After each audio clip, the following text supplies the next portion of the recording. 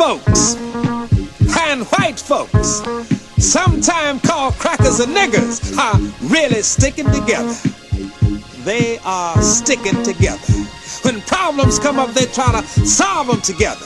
And to prove what I'm talking about, in New York City, a cracker and a nigger broke with no money, and the cracker said to the nigger, partner, we're going out tonight and have ourselves a whole lot of fun. Nigga said, man, how we gonna have some fun with no money? Cracker said, here's what we going to do. We're gonna hit every bar in town that's got liquor. We're gonna drink all the liquor we want, and when it's time to pay the bill, you see this hot dog sometime called a frankfurter? I'm gonna take that frankfurter, I'm gonna put it between your legs and then I'm gonna get down on my knees and suck on the frankfurter. And then they're gonna think we're a bunch of queers and throw our black asses out. Nigga said, you think that's gonna work? He said, I know it's gonna work. And they hit a ball.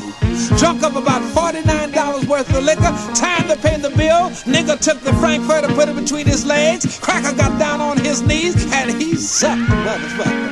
He sucked on that frankfurter and they threw their asses out. And not only did it work at that bar, it worked at 14 other bars.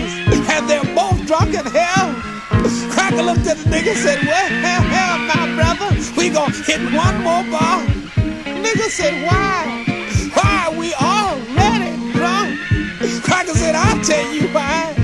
On the last bar, I'm gonna hold the frankfurter. And I want you to get down on your knees. And I want you to Suck the motherfucker. Nigga looked at the cracker and he said, Cracker, bullshit. That frankfurter away after we hit the second bomb. Nothing like crackers and niggas. But one thing you gotta pay attention to niggas are really into black awareness. They are concerned with their roots.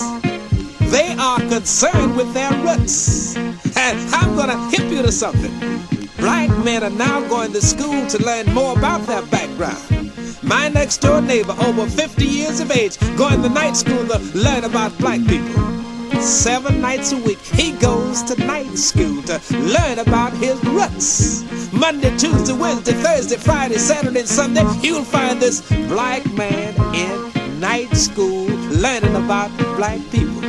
And every day he's in night school. And he finally graduated, came home, and I saw him with his diploma.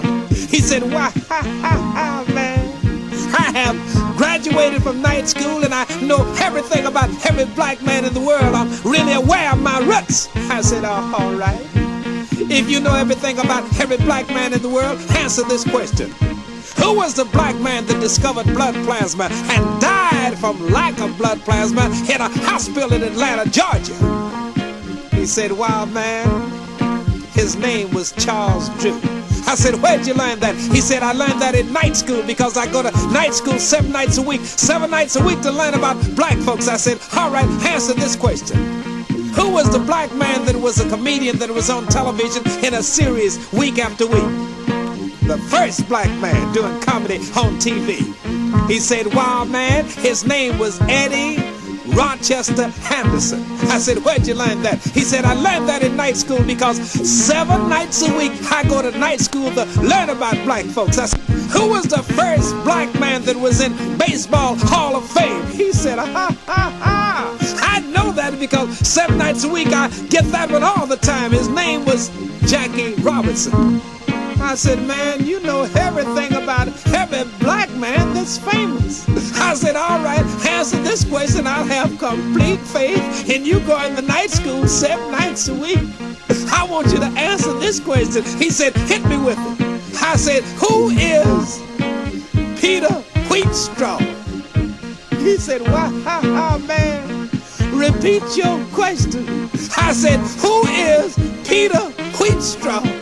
He said, "Why, man, I do not know who is Peter Wheatstraw. I said, Peter Wheatstraw is the black motherfucker that's fucking your wife seven nights a week while you at night school.